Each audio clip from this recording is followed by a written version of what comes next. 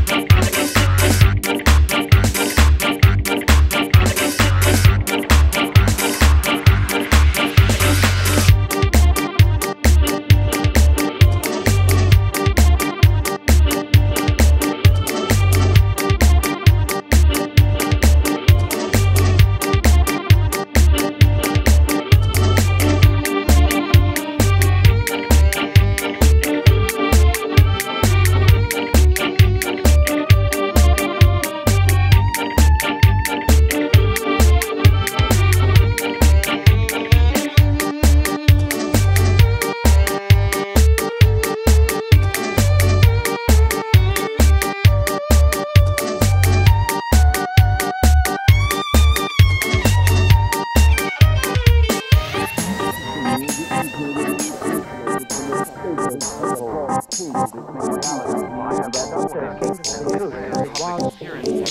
probably the biggest secret ever kept.